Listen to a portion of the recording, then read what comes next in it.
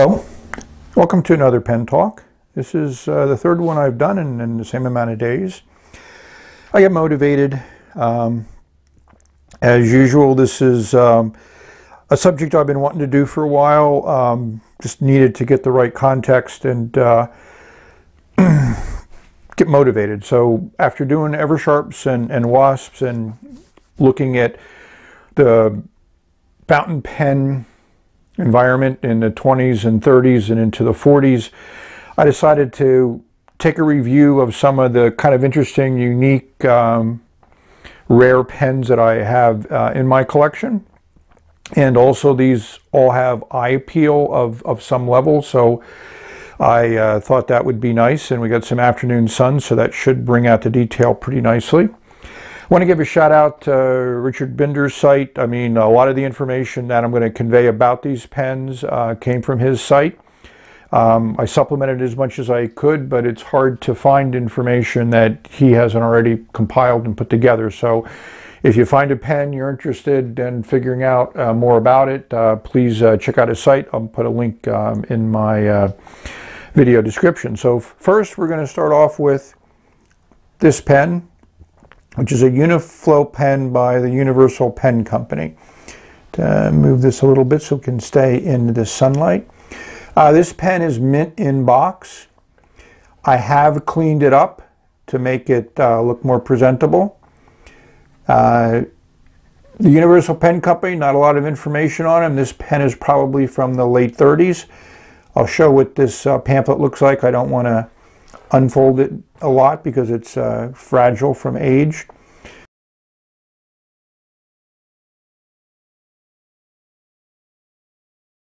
You can see it has the original sticker on it.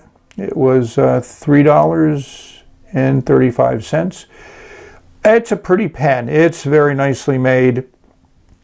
I like the way the clip has some uh, interesting patterns to it, kind of reminiscent of uh, Parker's.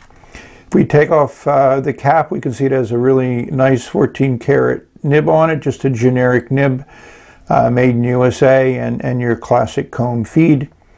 So again, the, the plastic and resin in this is just unique.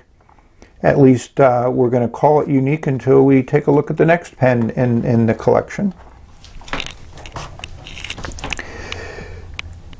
Similar resin. Um, a little bit different in the way it's shaped. Obviously this pen I don't think had the same level of quality put into it. This is uh, an Eagle pen. Uh, Eagle was, um, I got to check my notes here. The Eagle Pen Company uh, came out of the 30s, New York City company. Uh, it was founded by a German family. Uh, so uh, I really enjoy this pen. I like the Art Deco decoration in the band there. That's, that's kind of a nice little touch. Um, if we open it up, we'll see it has an iridium nib on it, but it says EPNCO for Eagle Pen Company. And it's nice at the clear section here for seeing your level of ink. So following on the theme of a striped pen, uh, we're going to bring up another one uh, called the Majestic. As you can see, we're probably going down in quality. Um, this one, uh, the parts, I don't know whether they ever plated or not, but whatever it is, they're pretty much raw metal. Uh, Majestic, um, also in New York City, uh, was a brand by J. Harrison Company.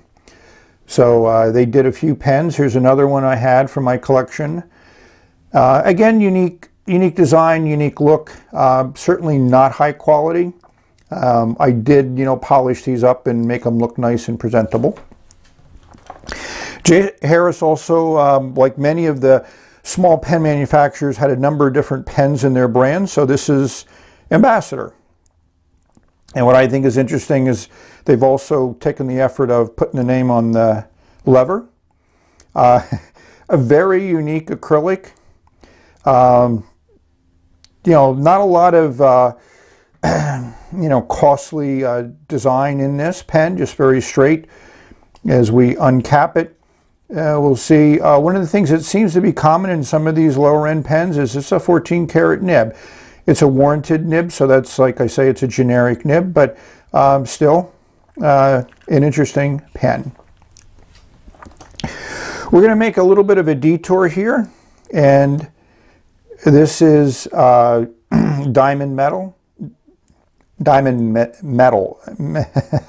Sorry, I cannot pronounce it. Uh, again, nice acrylic, um, nice look, a little bit of discoloration. This pen is also from the 30s. Uh, but what makes this pen unique is this is a Sears and Roebuck house brand pen. So uh, think about it as a generic pen that Sears and Roebuck had somebody make for them. Uh, unscrew the cap, uh, the threads are, are, not too many left. As you can see, this also has an 18 karat gold nib in it.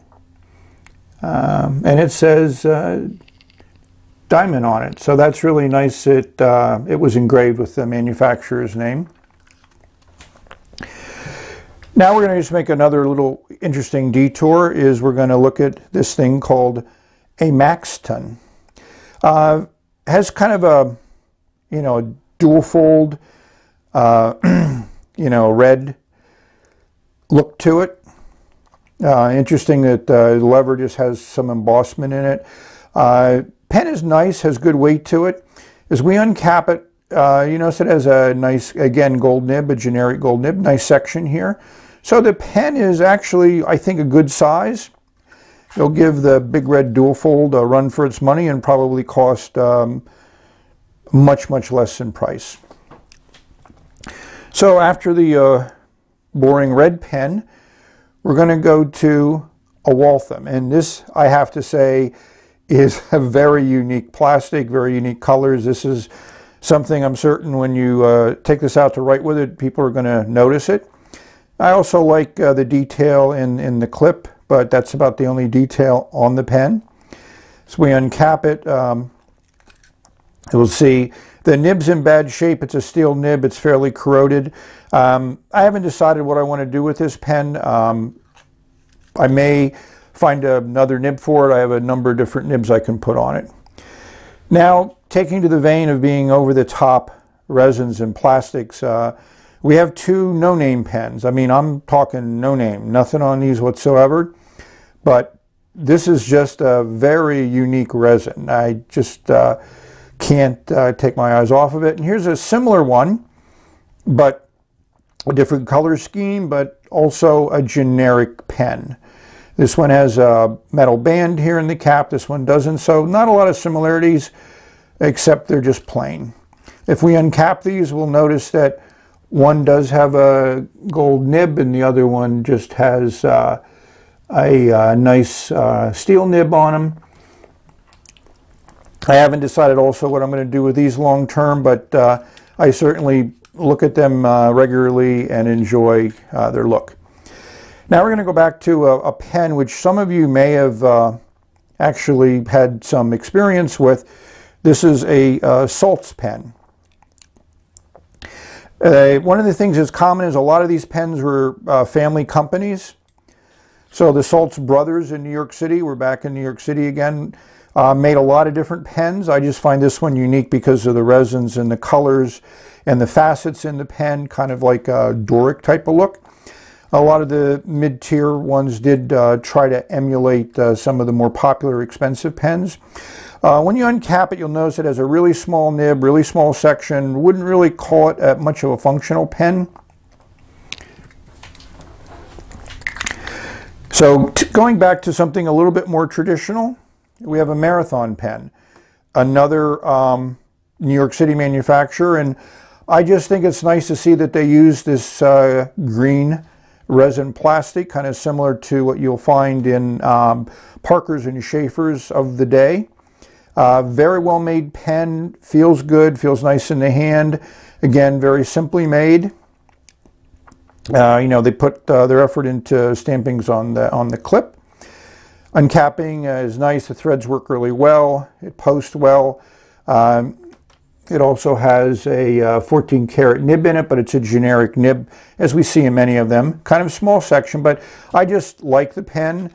Um, kind of stands out and uh, maybe we'll start writing with it someday. Now we're going to make another little transition here to, this is a, as you can see, the uh, company name is engraved into the pen. Um, so this is an Ingersoll, and as we take a look at it again, this is a mint pen, and it's uh, a dollar pen. Uh, there's a patent uh, applied for on the clip, kind of a unique clip design there. Uh, nice pattern in the plastic. This has a knob that you turn that uh, you know twists and squeezes the sack. Uh, I haven't done anything to write with this pen, but if you open it up, you'll notice everything is metal on it, which is nice. And it does have a 14 karat nib. And for a dollar for a pen back in the 30s with a 14 karat nib, uh, that was quite a unique uh, accomplishment. Now, last but not least, we have what I would call um, a mystery pen. So uh, you'll notice on the on the clip that it's a you, yours truly pen. It's just a classic hard rubber pen that you know kind of mimics something you might see from Waterman or, or Sheaffer in the day. Um, again, it's yours truly is engraved on the barrel, but also engraved there is M. Ratner and Son Pen Company, New York. So again, another New York company, uh, probably family owned based on uh, how that engraving goes. And it's also nice that they engraved uh, the lever on the barrel too. It's just an unscrew cap. It, it posts fine, a little bit long, and again, it has a nice uh, gold point on it. Uh, you know, decent section, kind of like a Waterman uh, 52 pen. Now, one of the deficits on this pen is the uh, cap that screws into the top um, is gone. I'm thinking that I might be able to find one. I haven't spent a lot of time looking for one. I'm certain I could find uh, some parts in my Parker bin that, that would fit that. So hopefully you enjoyed that little uh, look at uh, a number of variety of pens. Uh, hopefully you found some of them quite interesting. And to me, it's just amazing the variety of pens that were made.